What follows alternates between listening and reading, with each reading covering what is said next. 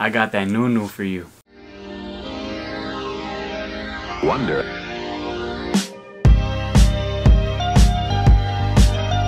What's good? You already know what time it is, okay? You know what the agenda is of this video. We're gonna be doing a hammered metal swoosh. And I ain't never seen nothing like this, alright? Ain't nobody else do this yet. This is that Nunu, and it's got me excited, alright? Basically, I've always been a fan of hammered metal, and I never knew how they did it. So I, I, did my research, you know, I went on the Google, typed in a few things, some keywords, some SEO, some and bam, we got it. And right away, immediately my first thought, we gotta put on a Nike swoosh. That's gonna look hard, that's gonna look crazy. That's what we gonna do, I'm gonna show you how to do it. It's gonna be a little two-in-one. You're gonna be able to know just how to do hammer metal, but you also gonna figure out how to make a Nike swoosh. I'm giving you a two-piece combo for free. Ain't nobody else doing that, alright? I'm gonna go ahead and list off all the supplies that I used to make this. At first, it's gonna be a three-inch block of steel, alright? And this is to do all the hammering on top of. You need this, you need this, alright? You need it. Second, it's gonna be your tin cutters. You can do a lot of different tin cutters.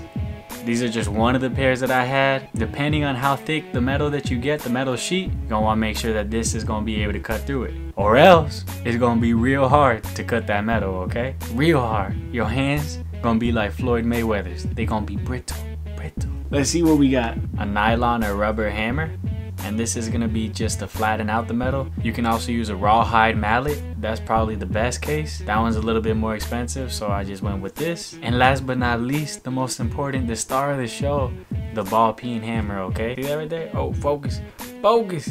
That right there, that's what makes all those impressions on the metal, those indentations, that's gonna give us that nice hammered look, that texture, all right? So if you're interested, go on and watch and subscribe if you want to, like it, whatever you want.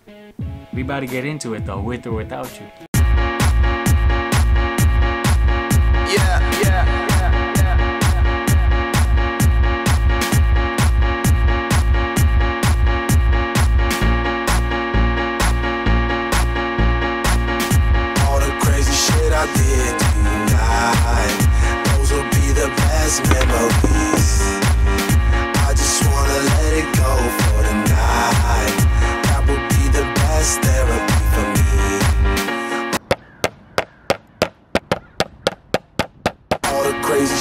Did tonight Those will be the best memories so once you're done cutting everything, you have your Nike swoosh. What you're gonna wanna do is sand the edges because that's gonna be pretty sharp and you wanna smooth everything out so it looks a little bit more refined, you know? You know? All right. I just wanna let it go for the night. That would be the best therapy for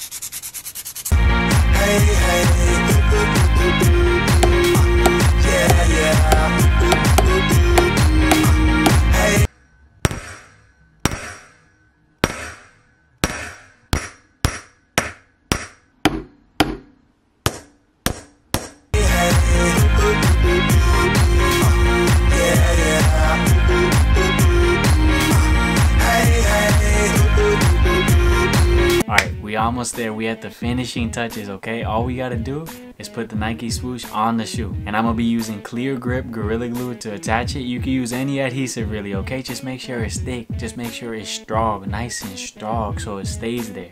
So yeah, we about to put that on there and then I'm gonna give you some nice B-roll, okay? All right? Is that cool? All right, let's do it. Yeah, yeah. Hey, hey.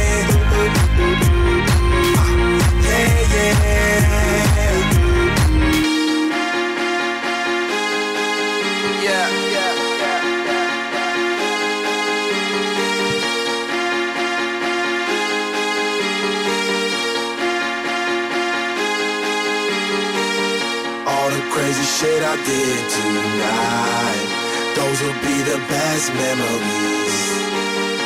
I just wanna let it go for tonight Can look all over the nation But they ain't You see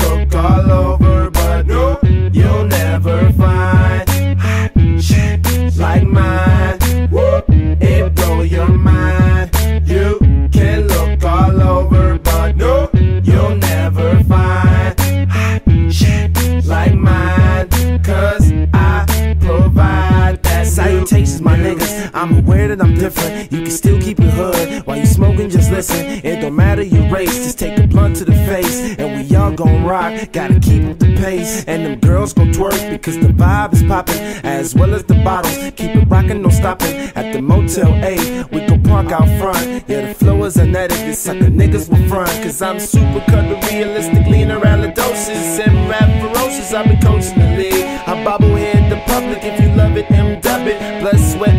and tears, homie, I made of it. Finish the classic, you think nothing about it. Tell 'em like